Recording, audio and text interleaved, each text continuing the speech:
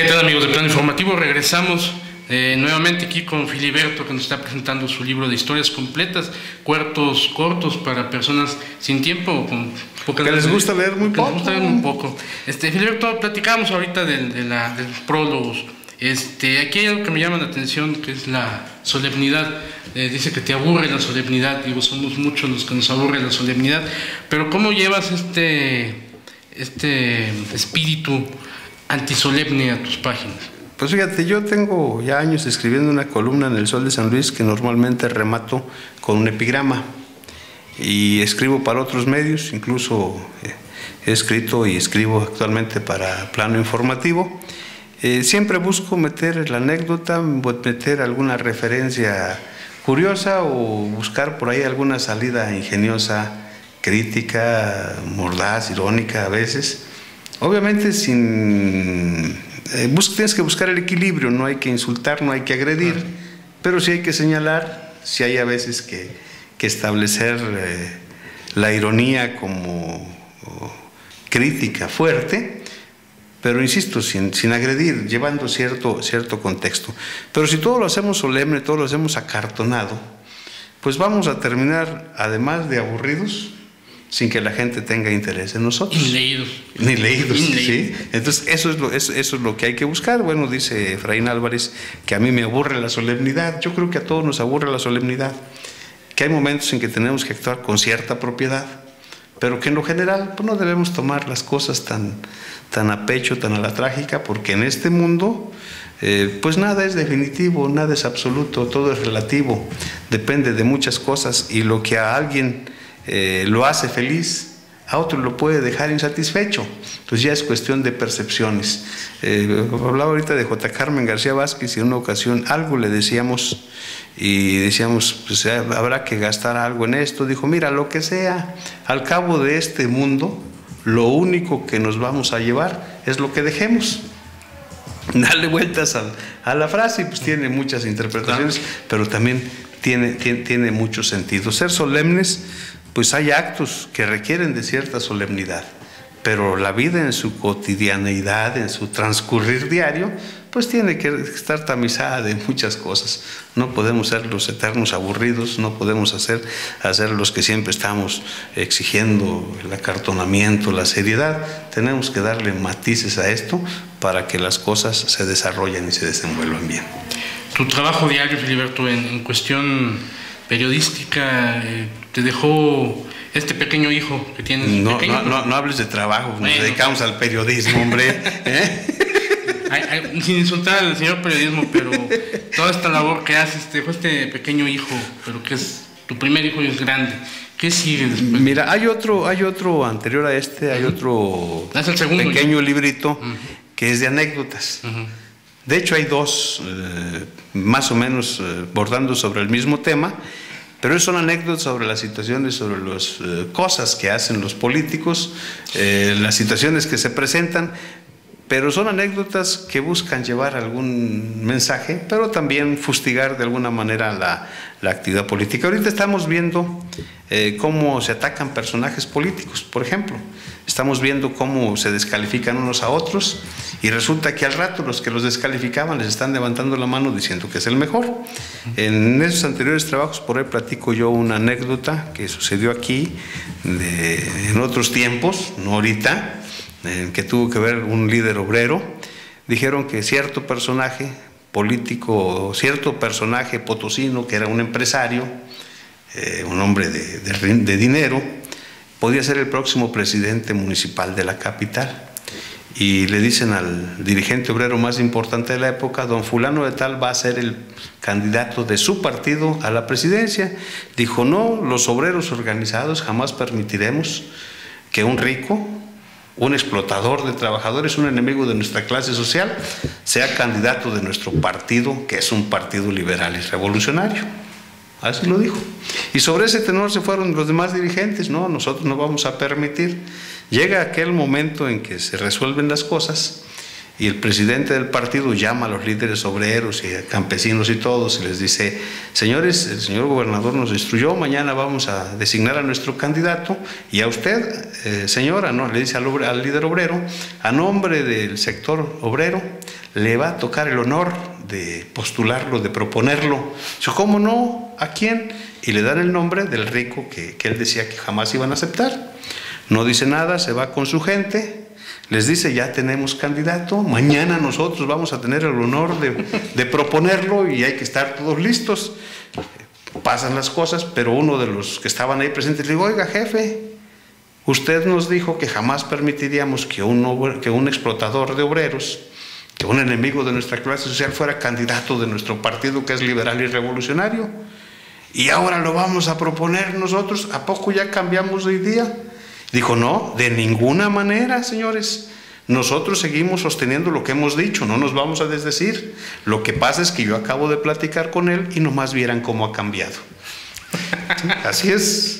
Así hay muchas cosas en la política. Tú lo has visto, guardando las cosas, cómo se han desarrollado los últimos eh, tiempos la política en San Luis. Entonces hay muchos detalles de estos regados en esto y sobre eso es el, otro anecdotario que se pudo. eso no viene aquí reflejado en los cuentos. No, no aquí, vienen algunas otras cosas también que tienen que ver eh, con lo mismo. ¿Sí? Por ejemplo, aquí hay una, un cuento que se supone que lo debes leer en una semana, porque si no tienes tiempo, que dice motivos compartidos. Él dice que siempre anda borracho porque solo así aguanta las coqueterías de su mujer. Ella dice que siempre anda de coqueta porque solo así aguanta las borracheras de su marido. Digo, son vueltas de la vida. Son vueltas que da la vida. Empezó a tomar para olvidar, ahora quiere recordar por qué toma. Hay una serie de, de, Ella quería escuchar el más corto de los cuentos y él, complaciente, le dijo te amo. Oye, que así hay cortos, pero, pero son, son 53 textos que tienen pues, algunos un mensaje, una interpretación. Cada quien los va a, a, este, a dar su, eh, su, su, búsqueda y Dice, cuando buscó el amor solo encontró aventuras. Hoy busca una aventura y todas le exigen que les jure amor eterno. ¿Eh? no, no, bueno, hay, que cada quien agarre lo que le toca. en cualquier contexto. Sí, sí, en, cualquier situación, en cualquier contexto. Una de las de los más cortos que viene aquí dice, a los 70 años se dio cuenta que las demás cobraban. Oye, pero ¿dónde, ¿dónde, podemos encontrar este, este, este Lo puedes encontrar donde me encuentres a mí ahorita.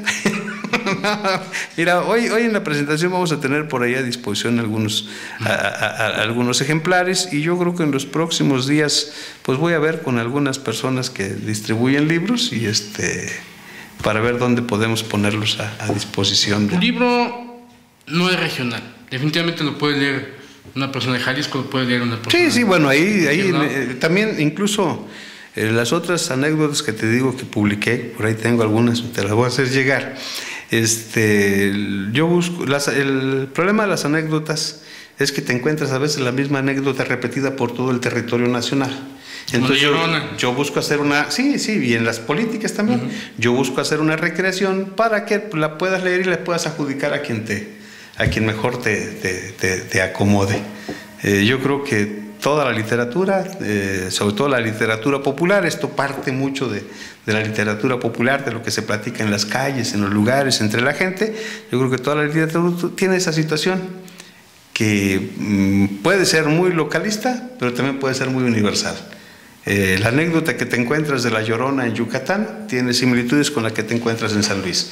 Pero hay anécdotas políticas que te las encuentras en, el norte del país y también encuentras las versiones de esas anécdotas en el sur, claro, con diferentes personajes. Pero porque esto refleja, esto refleja el alma de nuestro pueblo. La unidad y la identidad que tenemos cultural, que nuestras actitudes y nuestras reacciones pues son iguales o, tienen similitudes en cada una de las regiones de la República. Somos un pueblo eh, que tiene una interculturalidad magnífica, tremenda que nos enriquece y, que nos permite conjugar muchas cosas. Yo he escuchado anécdotas políticas aquí en San Luis y las he escuchado en, Veracruz o las he escuchado en, otra parte, en el Estado de México, en el sureste o en el norte. Claro, te digo, con sus debidas adaptaciones y adecuaciones, porque la gente de boca en boca va transmitiendo cosas y esas cosas las va manejando, las va adaptando y les va dando su, su contexto y su presencia. ¿Será una forma de limar la, la desigualdad o la molestia por ciertas anécdotas que la gente... Pues sí, o sea, la gente se desquita a veces de la función de los malos gobernantes, riéndose de ellos. Mira, tenemos una idiosincrasia muy peculiar. La fiesta más grande de, tradicional de nosotros es la del Día de Muertos. Y en el Día de Muertos nos burlamos y terminamos diciendo que la calavera nos pela los dientes. ¿sí? Y terminamos diciendo una serie de cosas. Y lo utilizamos para hacer algo festivo.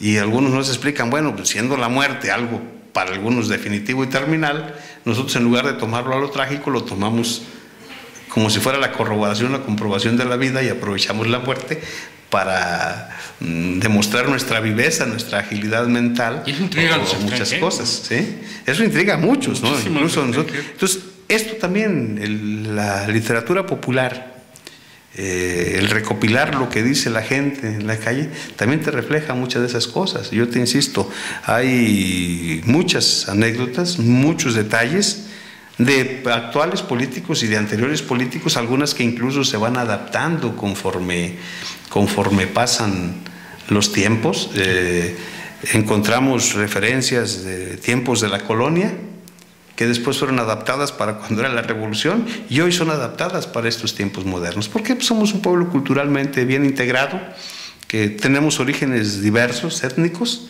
pero eh, hemos logrado un mestizaje y una interculturalidad pues muy, muy, este, eh, muy bien integrada. Tenemos unidad, tenemos identidad como pueblo, como nación y estas expresiones populares nos fortalecen y nos dan idea de ese alcance que tiene.